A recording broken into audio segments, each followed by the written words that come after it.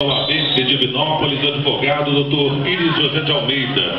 E pedir também para que faça parte da mesa o presidente do Sindicato Rural de Divinópolis, Irajá Nogueira.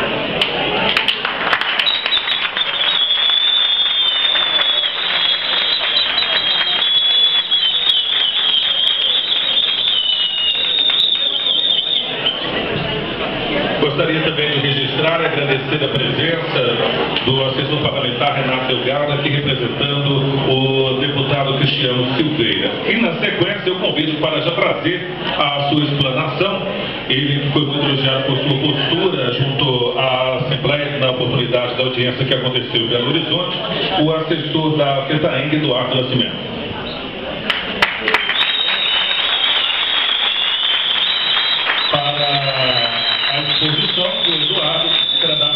accepted